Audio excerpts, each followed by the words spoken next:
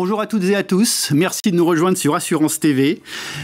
La réforme du courtage, c'est parti, c'est pour l'année 2022. Il y aura donc de nouvelles obligations pour les courtiers et leurs mandataires d'adhérer à une association agréée par la CPR, vous le savez.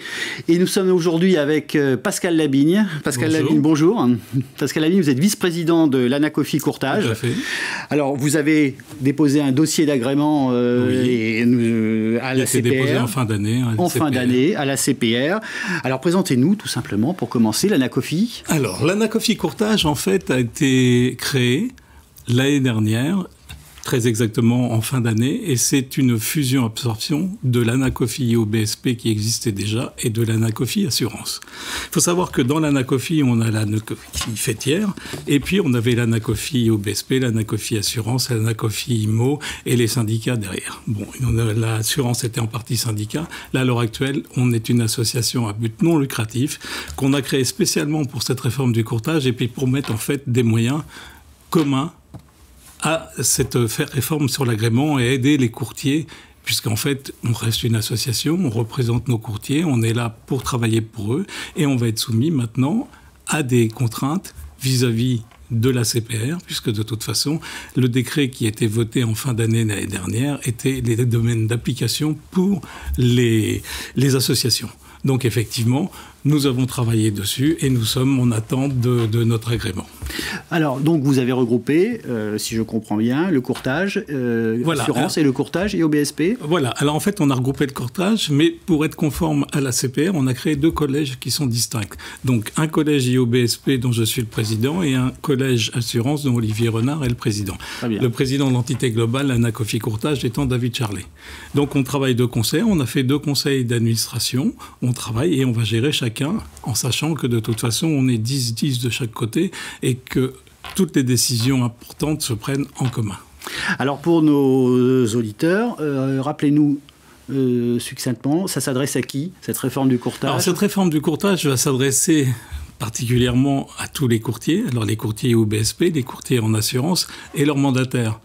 On va en être exclus les compagnies, les, les, établissements bancaires, les, banques, les sociétés de financement et autres. Bon. Et les agents généraux d'assurance. Généraux d'assurance, effectivement, et les mandataires de ces gens-là, puisque de toute façon. Donc, tout le reste, ça représente quand même pratiquement 54 000 courtiers et mandataires. Donc c'est un gros, gros, gros, gros boulot. Euh, et il convient, nous, d'être prêts et d'être positionnés par rapport à cette, euh, cette nouveauté.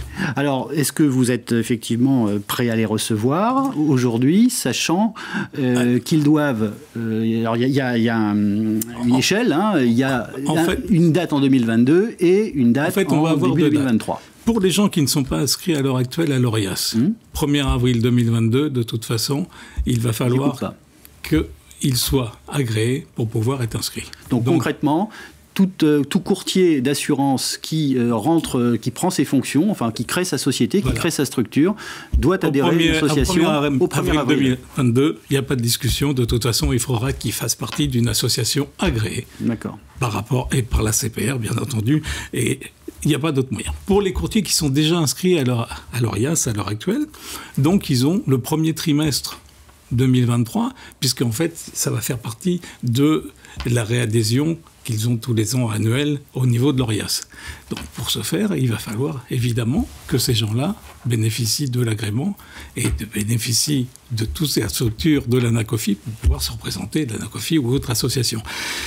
Ce qui fait qu'on risque d'avoir un petit goulot d'étranglement en fin d'année et que on va essayer d'éduquer au moins nos courtiers, ceux que nous connaissons et ceux que nous avons. Pour information, l'Anacofi, c'est pratiquement 1800 euh, d'un côté, 1900 euh, de l'autre. Donc euh, on est une association qui sont déjà au-dessus des 5% qui sont prévus par la CPR au niveau d'associations représentatives.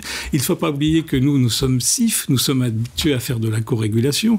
On est déjà agréé par l'AMF à ce niveau-là. Donc effectivement, on, va être obligé de, de, travailler et on va essayer de lisser ça un petit peu dans le temps. Alors justement, vous l'avez rappelé, vous êtes déjà une association de SIF hein, euh, depuis maintenant plus d'une dizaine de, tout à fait, de SIF existe, hein, depuis une dizaine d'années.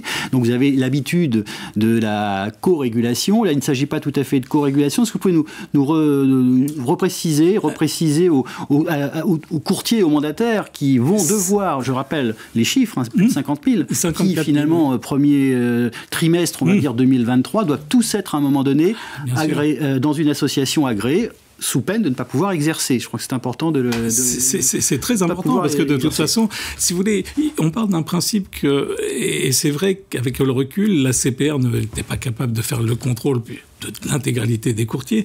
Pour vous donner un ordre d'idée, l'année dernière, il y a eu 80 contrôles de la CPR. Donc effectivement, c'était très compliqué. Il y a un problème aussi par rapport à ça, c'est que le monde est de plus en plus complexe. Il y a les tout ce qui vient au niveau de l'Europe, ce qui vient au niveau de partout. Donc les gens qui sont isolés, petits courtiers dans leur coin, se trouvent complètement démunis et le législateur s'est dit à un moment, il va falloir que ces gens-là puissent arriver dans des fourches codines pour que tout le monde, et ça revient sur la protection du consommateur. Parce que bien évidemment, plus les courtiers sont formés, plus on montrant en compétences, plus on protège le consommateur. Je veux dire, et du coup, on fait appel aux associations qui existent, on va leur demander de faire une vérification préalable sur ce monde du courtage. Et donc, parler de formation, parce que justement, parmi les missions, si vous pouvez nous les rappeler, rappeler aux courtiers les missions, euh, les grandes missions phares de cette association. Parmi les, missions, si vous voulez, c'est que, pour vous donner un, schéma, on a un plan quinquennal où l'intégralité de nos membres devront être vérifiés pendant ces cinq ans. Ça va considérer tout, on va regarder leur garantie financière. Est-ce qu'elle est exacte? On va regarder leur responsabilité civile. Est-ce qu'elle est conforme? Est-ce que là, au niveau de la conformité, on va regarder au niveau de l'honorabilité, au niveau de la compétence, s'ils ont le droit d'exercer par rapport au diplôme et le reste. On va être obligé de regarder si euh, la formation a été faite. Ce qui et après, on va monter. Alors tout ça, ça va être fait au fil du temps. Il faut savoir que nous, on a déjà des kits qui existent et pour faire formation, c'est impératif. Vous savez, 7 heures d'un côté au niveau de l'EOSP, 14 heures de l'autre. Elle est faite annuellement à l'heure actuelle. Comme au niveau de la réinscription, personne ne demandait si cette formation est véritablement faite ou pas. C'est des choses où on est obligé. Et on va faire tout un plan de synchronisage pour que tout le monde puisse être vérifié. Donc il y, a quand même un gros travail et ça passe euh, par en fait toutes les missions. Alors nous on est resté sur la mission où on a dit à la CPR que étant CIF, euh, on est à même, euh, puisque là on est véritablement dans le contrôle et les élus sont représentés et autres. nous au niveau de du, courtage, on est beaucoup plus en retrait puisque là, on va se contenter de faire exactement ce que nous dit la CPR par rapport à ça, en sachant qu'on attend l'agrément et qu'on a demandé, positionné, on s'est fait deux ou trois positions par rapport à ça, mais on verra le retour de la CPR et bien entendu, on va faire en sorte d'être là pour nos adhérents. Il faut savoir que si les, adhérents ne trouvaient pas, l'anacophie fêtière, elle, aura une mission en tant qu'association, puisque les gens sont obligés de passer par l'anacophie fêtière beaucoup plus large. Mmh. Et là, s'ils ont besoin d'aide, parce que l'anacophie est une grosse, une grosse entité.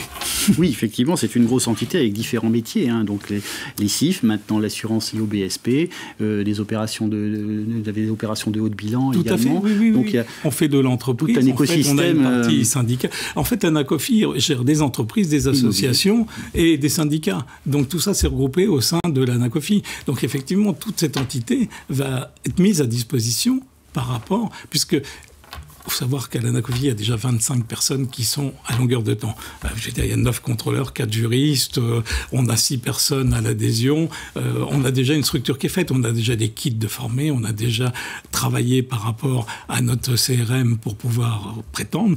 Donc effectivement, tout ce schéma existe déjà.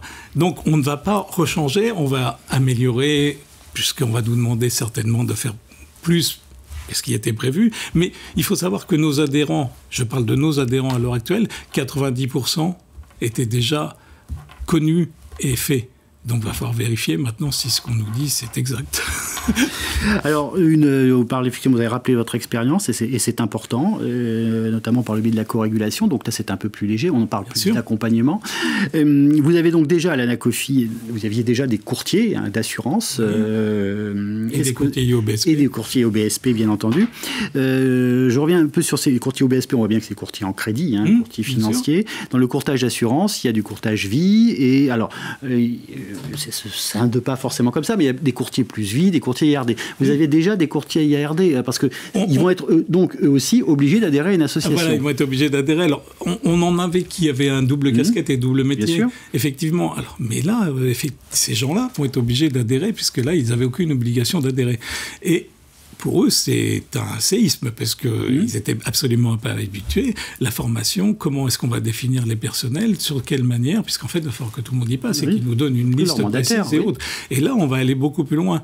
Donc, pour l'instant, on est en mode d'attente, puisque le problème, si vous voulez, c'est qu'on ne sait pas combien de gens vont venir, puisque mmh. chaque association là, j'ai très clair, on n'a pas fait d'appel d'offres, on n'a pas changé nos tarifs, on est resté là, on a notre savoir-faire, on laisse faire. Maintenant, s'il y a un surplus, on verra de quelle manière on le gère. C'est ce qu'on a expliqué à la CPR. On est incapable de dire exactement comment on va faire puisqu'on ne maîtrise pas tout. Mais vous avez déjà donc des courtiers, euh, parce que ce sont ces courtiers en assurance, parce que beaucoup de courtiers vie sont SIF, de fait, compte tenu du métier qui suppose souvent euh, des, des allocations d'actifs. Donc souvent, on sait que les courtiers vie sont aussi des, souvent des conseillers en investissement mais là, donc, vous avez pouvoir et, accueillir, et vous êtes prêt à accueillir, c'est ce que vous nous avez dit maintenant, euh, à accueillir tous ces courtiers d'assurance et leurs mandataires, et bien sûr les courtiers euh, bancaires et, financiers. Bien entendu, on est, on est prêt à accueillir. De toute façon, notre positionnement est fait, il existe, il est existant. Euh, je peux vous donner les tarifs d'adhésion de l'ANACOFI. Justement, parce que... C'est 275 euros plus 25 euros par métier, donc 300 mmh. euros si on a un métier. Si on fait IOBSP plus IAS, ça va être 325 euros. Mmh. Donc pour les petites entités moineaux. Et pour euh, les grosses entités, on va se situer aux alentours de 1500 euros, en sachant que, attention, c'est pas des grossistes, c'est des sociétés mères sur lesquelles, euh, avec une entité. Maintenant, il est bien évident qu'on ne maîtrise absolument pas tout, puisque en fonction de ce qu'il verra, en fonction de ce que la CPR nous demandera, peut-être qu'il y a des développements CRM qui seront obligés d'être faits, peut-être qu'il y a des choses qu'on nous demandera en surplus. Et là, on verra au fil du temps de quelle manière cela se passera. Eh bien, euh, on, avance en marchant. Je crois qu'on voilà. peut dire ça comme ça. En tout cas, euh, ce qui est intéressant, c'est l'échange qu'on puisse avoir maintenant. Et il faut savoir qu'au niveau associatif et au niveau des associations CIF, on est à peu près tous sur la même longueur d'onde. On a notre savoir-faire, on ne va pas le changer. Parfait. Pascal Labine, merci. Merci. Et bonne chance à euh, l'Anacofi Courtage. On vous tiendra informé. merci à tous. À bientôt.